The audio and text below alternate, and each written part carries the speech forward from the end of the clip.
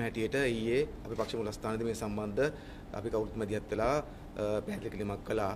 ඉතින් අද අපේ රටේ සියලුම පුවත්පත් ඒ පැහැදිලි කිරීම ඉතා හොඳින් වාර්තා කරලා තියෙන නිසා අපි ඉස්සෙල්ලාම අපේ රටේ ජනමාධ්‍යවට ස්තුතිවන්ත වෙන්න ඕනකම තියෙනවා.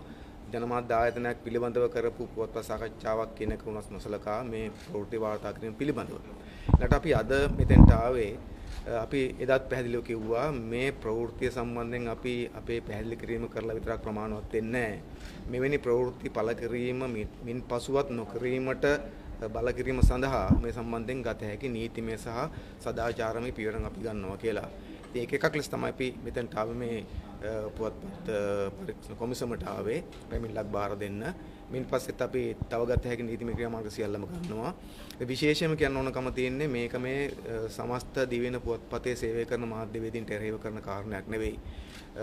අපේ අනුර සහෝදර කිව්වා වගේම දිවෙන පුවත්පත පිළිබඳව එක්තරා කාලයක අපිට ලොකු ඇගීමක් තිබ්බා. දිවෙන පුවත්පත ප්‍රගතිශීලී ධාරාව නියෝජනය කරමින් කටයුතු කරපු යුගයක් තිබුණා. ඉතා අමාරු කාර්ය යුගයක. ඒ දිවෙන පොත්පත් ඉතාමත් හොඳ කතුරුවරු කටයුතු කළා. නමුත් අද මේ රාජපක්ෂ කල්ලියට ආවඩන රාජපක්ෂ කල්ලියෙන් යැපිච්ච තුන් හතර දෙනෙක්ගේ කල්ලියක් වශයෙන් දිවෙන පත්‍රයේ ආක්‍රමණය කළ දිවෙන පත්‍රයේ අයිතිය තමන් අතට අරගෙන ඒක තුල වැඩ කරන අවංක මාධ්‍යවේදීන්ට පවා ලැජ්ජාවට පත් කරන ආකාරයේ හැසිරීමක් පවත්වමින් යන නිසා මේ අපේ උත්සාහය ඒ දිවෙන පොත්පත් වල වැඩ කරන ඒ කුඩා